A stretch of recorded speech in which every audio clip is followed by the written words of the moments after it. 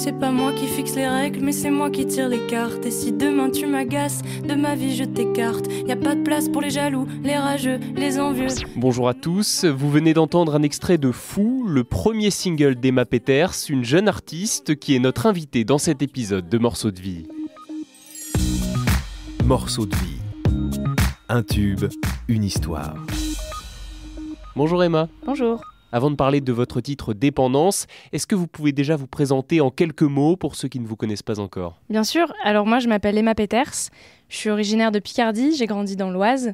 Et je suis arrivée sur Paris pour mes études il y a quelques années. Euh, j'ai pris des cours de guitare pendant une dizaine d'années et j'ai commencé à m'accompagner à peu près à l'âge de, 10-12 ans.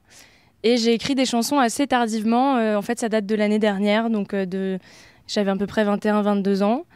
Et puis, euh, et puis voilà, j'ai fait énormément de reprises sur Internet, beaucoup de covers sur YouTube qui ont, qui ont pas mal marché et qui m'amènent euh, ici aujourd'hui avec ce premier single qui s'appelle Fou. Justement, ce premier single, de quoi est-ce qu'il parle? Alors ce single, il parle, euh, en fait, il dit principalement dans le refrain Cherche pas à leur plaire. Et, et c'est vrai que, en fait, c'est assez autobiographique dans la, dans la manière que j'ai d'écrire les chansons. C'est que pendant longtemps, j'ai essayé d'écrire des chansons où je leur voulais des textes très très chanson française, très, très bien écrit, très bien interprété. Et en, fait, euh, et en fait, un jour, je me suis dit que la vie, c'était d'être soi-même tout simplement. Et à partir du moment où j'ai commencé à écrire des chansons comme je parle dans la vie, c'est là que j'ai eu un déclic et que j'ai écrit énormément de chansons et que et qu'il s'est passé quelque chose et ça a fait cette petite magie et ce naturel qui, je crois, parle à pas mal de gens. Et c'est là que c'est là que du coup j'ai composé ce, premier titre pour dire cherche pas à leur plaire. Voilà, sois, sois toi-même et euh, et ce sera beaucoup plus facile comme ça. Non, ça, ça leur plaît pas, mais cherche pas à leur plaire. Ils ne savent pas quoi faire. De nous, on est bien trop fous.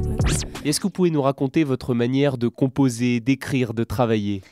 Alors moi j'ai un peu un poil dans la main, donc je, je travaille pas beaucoup. Enfin j'ai pas l'impression de travailler. C'est ça qui est très chouette dans ma vie aujourd'hui, c'est que je fais quelque chose que j'aime, donc c'est super cool mais je je travaille pas, j'ai jamais pris de cours de chant, j'ai pris des cours de guitare, mais euh, je suis très très nulle en solfège et, euh, et, comme je sens que je suis nulle, j'ai du mal à m'y mettre, donc je, je travaille pas. Par contre, ma façon de, de composer, en fait, je je pense, assez musicienne à la base. Et donc, je, je prends ma guitare, j'ai des suites d'accords qui, qui, arrivent dans la tête et que j'arrive à reproduire sur le manche. Et après, petit à petit, j'ai une mélodie qui vient et le texte qui vient assez naturellement. Mais c'est vrai que je pas vraiment de façon de travailler. Ça peut arriver euh, très très vite, comme parfois j'ai euh, des mois vides où il n'y a rien qui il y a rien qui vient dans ma tête, mais je me fais assez confiance. Et quelles sont vos inspirations justement? Mes inspirations, j'en ai, j'en ai tellement plein. C'est, la vie de tous les jours, c'est les histoires que je vis, les, forcément les amis, les amours, la famille, mais aussi beaucoup mes amis, les, des gens que je croise dans la rue parfois qui m'interpellent. C'est, c'est énormément de choses. C'est aussi beaucoup d'introspection je me regarde beaucoup plus depuis que j'écris des chansons. Un truc un peu, euh, je sais pas si c'est narcissique, mais en tout cas, c'est assez libérateur de pouvoir écrire sur, sur ce que je ressens vraiment. Et, euh, et, voilà, mes inspirations, ça vient vraiment de la vie de tous les jours. Comme vos chansons parlent de vous, racontent un peu votre vie, comment est-ce que vous en parlez à vos proches, à votre famille? Est-ce que vous leur faites écouter? Euh, En fait, je viens d'une famille qui est très musicienne, surtout du côté de ma maman. Donc en fait, il y a toujours de la musique à la maison quand je rentre les week-ends. Euh, donc la Picardie, c'est pas très loin de Paris, donc j'ai la chance de pouvoir rentrer souvent.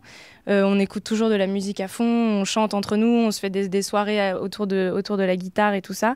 Donc en fait, évidemment, à chaque fois que je rentre, je leur fais écouter ce que j'ai fait en studio la semaine et ils ont un. Alors je les sens un petit peu pudiques parfois sur les textes. Ils, ont... ils osent pas trop me poser des questions, mais mais en fait, c'est aussi maintenant euh, notre façon de communiquer, surtout je pense avec mes parents. Euh, ils apprennent aussi des choses de moi que je suis assez pudique dans la vie, que j'arrive pas trop à dire.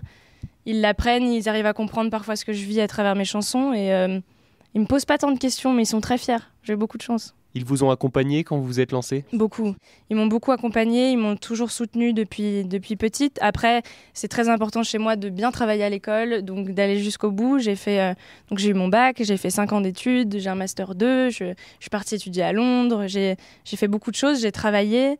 Et puis euh, ils, ils, ont vraiment voulu que j'ai quand même un bagage assez solide. Et après, quand ils ont vu que j'arrivais vraiment à à gérer et mon travail euh, et, ma musique à côté et qu'au bout d'un moment, il a fallu faire un choix parce que la musique prenait beaucoup trop de temps et que même eux ont été rassurés parce qu'ils ont vu que sur Internet, effectivement, ça, ça faisait des vues, ça tournait, ça parlait un petit peu. là, ils m'ont fait confiance, ils m'ont dit écoute, t'es es bien entouré, t'as trouvé une bonne équipe, vas-y. Donc j'ai quitté mon travail.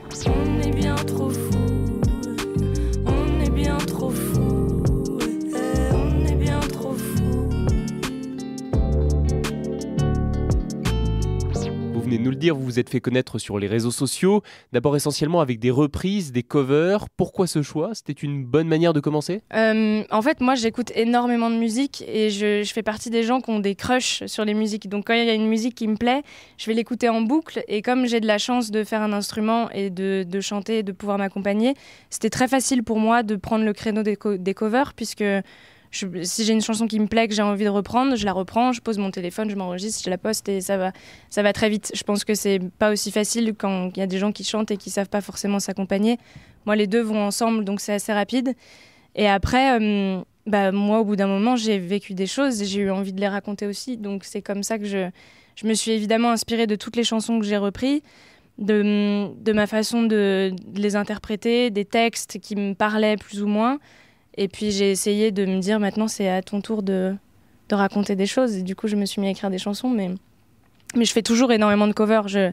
J'aime trop les chansons des autres. Donc je pense que j'arrêterai jamais de, de les reprendre. Du coup, grâce au succès de vos reprises, vous avez eu des propositions de collaboration. Euh, exactement. J'ai eu. euh, en fait, c'est c'est assez fou parce que l'histoire a démarré sur une cover qui s'appelle Clandestina, une chanson de l'artiste que j'ai repris il y a quelques années déjà. Et puis, euh, et puis un jour, j'ai un DJ qui est en Russie, que j'ai absolument jamais rencontré de ma vie, qui s'appelle Edmofo, qui, m'envoie un mail et qui me dit voilà, j'ai fait ça sur cette cover, ça m'a beaucoup inspiré, j'ai fait ça. Et il m'a envoyé ce remix et je lui ai dit écoute, euh, c'est quand même pas mal. euh. Et puis moi, j'avais un peu envie de commencer à vendre de la musique sur Internet à cette époque-là. Je me suis dit, est-ce que tu acceptes qu'on le, poste, en fait, euh, tous les deux? Et puis, on verra où ça nous mène. Et en fait, mais les gens qui me suivaient déjà un peu à l'époque on- l'ont vachement poussé, ce titre. Et ça a donné bah, ce remix de Clandestina que, beaucoup de personnes connaissent maintenant. Et ça m'a un, petit peu dépassé. Et ça, a- ramené plein d'autres DJ. Ça les a inspirés à, prendre d'autres covers sur ma chaîne. Les gens ont un peu pioché partout. Il y a eu énormément de remix de faits.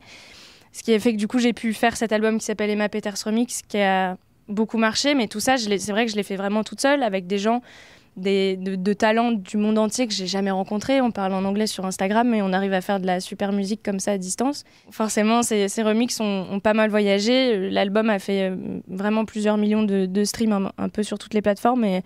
Et, donc, au bout d'un moment, euh, quand le nom commence un petit peu à circuler, j'ai eu effectivement plusieurs demandes, plusieurs approches de, maisons de disques plus ou moins grosses euh, qui m'envoyaient des mails ou des messages et tout ça. Mais au début, j'étais. En fait, je suis, très attachée à la façon dont je fais de la musique. C'est vraiment hyper personnel et très très important pour moi. Et donc, je me suis dit, j'y arrive très bien toute seule. Et j'ai un peu ce caractère-là aussi. Je resterai toute seule et je m'en fous, j'ai besoin de personne. Quoi. Et en fait, euh, j'ai rencontré euh, Philippe Ascoli. euh, et ça a été vraiment une rencontre hyper, hyper ouverte, très très respectueuse, très agréable. Et je me suis dit, euh, euh, voilà, j'ai un projet d'album qui est en cours. J'ai au bout d'un moment besoin d'aide parce que bah, quand on est tout seul, qu'on n'a pas les contacts, qu'on n'a pas forcément de budget, c'est pas évident. Euh, bien que je l'ai fait, j'ai sorti un single qui s'appelle Je manque, que j'ai produit toute seule, où je, me, je travaillais le jour pour payer mes heures de studio et tout ça. Mais au bout d'un moment, voilà, on a un petit peu besoin d'être épaulé, conseillé aussi, parce que tout seul, euh, parfois, comme on fait trop de choix, parfois on fait les mauvais. Et, euh, et je me suis lancée dans, ce- dans cette aventure euh, avec euh, Local Music, du coup. Je suis pas celle que tu crois, aucun cabron ne m'a touché. À part toi, Caballero, non, personne ne m'a touché. Donc vous avez expérimenté l'exercice de la composition originale après celle de, de la cover, de la reprise. Maintenant, lequel est-ce que vous préférez entre les deux? Qu'est-ce que je préfère entre les. C'est... En fait, c'est, tellement différent parce que je m'amuse énormément quand je fais des covers et j'adore pouvoir apporter quelque chose, euh, vraiment pouvoir apporter ma patte et me dire ah, ça, moi par contre, je l'aurais peut-être fait comme ça et de pouvoir le faire, ça me plaît beaucoup. Par contre, j'ai une, fierté euh, énorme quand j'arrive à écrire une chanson, que j'enregistre la maquette, que je l'envoie et qu'après on part en studio pour, pour lui donner vie. J'ai une, fierté, une satisfaction en fait énorme. Donc c'est très différent. D'un côté, c'est d'un côté, c'est peut-être la satisfaction personnelle de pouvoir écrire et composer une chanson qui m'appartient. Et après, par contre, je, je suis toujours. euh, ça m'amuse énormément de reprendre les chansons des autres. Sur le titre Fou, quel a été votre sentiment quand vous avez su que vous passiez à la radio, quand vous avez vu le compteur d'écoute grimper Fou a déjà dépassé les 250 000 vues sur YouTube. Comment est-ce que vous le vivez? Euh, je, sais, je sais pas trop comment je le vis, c'est très bizarre, je crois que j'ai du mal à me rendre compte. Il y a aussi une chose, c'est que je, fais partie des seules personnes de mon entourage, je me suis jamais entendue à la radio, quoi. Et tous les jours, j'ai des messages de ma famille, des vidéos, de même mes abonnés sur Instagram qui, m'envoient, qui, m'ont entendu, qui m'identifient, et moi, je, je me suis toujours pas entendue. Donc j'ai un peu du mal à me, rendre compte, mais euh, c'est vrai que j'entends que ça bouge, mais je, reste un peu focus sur mon objectif qui est d'écrire d'autres chansons, de sortir un album, et euh, j'ai l'impression que ma famille le ressent beaucoup plus que moi en fait. Je crois que je suis un peu dans un déni. Je, je, veux pas trop voir, mais par contre, je, prends tout, tout, cet amour qu'on m'envoie, je le prends, c'est trop génial. Merci beaucoup, Emma Peters, d'avoir répondu à nos questions. Bah, merci à vous. Et je rappelle que vous avez déjà sorti donc un EP intitulé Fou, etc. Et il y aura bientôt dans les bacs aussi votre premier album. Merci à vous également d'avoir écouté cet épisode. N'hésitez pas à vous abonner au podcast Morceaux de vie pour être informé de la sortie des prochains épisodes. Et rendez-vous sur alouette.fr également pour découvrir toutes nos autres créations originales. A très bientôt!